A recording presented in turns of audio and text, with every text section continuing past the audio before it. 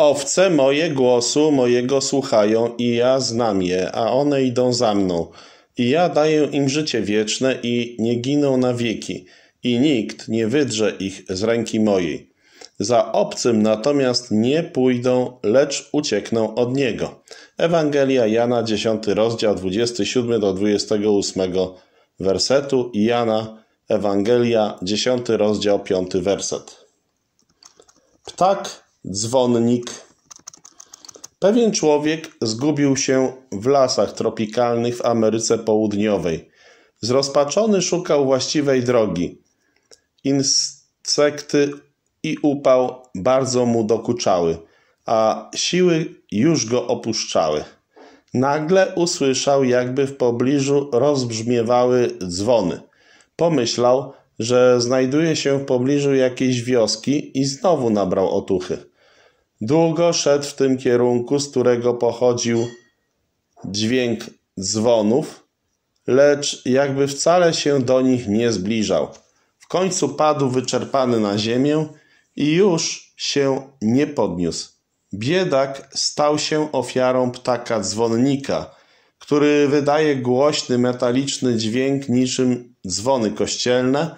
Oczywiście ptak ten nie robi tego specjalnie, aby celowo wprowadzić kogoś w błąd. Zdarzenie to jest jednak doskonałym obrazem tego, w jaki sposób szatan zwodzi ludzi i sprowadza ich na manowce.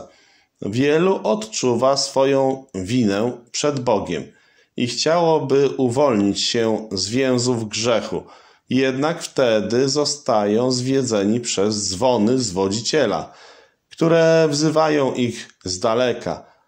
Ach, znalazłem inną drogę, myślą wówczas i idą za zwodniczym głosem, brnąc wciąż głębiej i głębiej w gąszcz rozczarowań.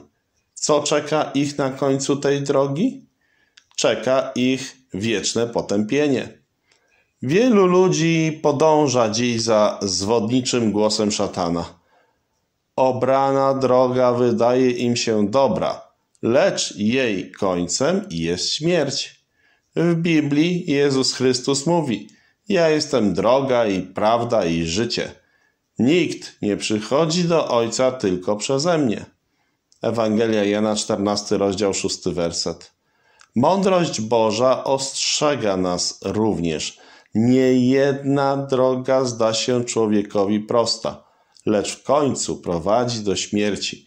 Przypowieści Salomona, 16 rozdział, 25 werset. Owce moje głosu mojego słuchają i ja znam je, a one idą za mną.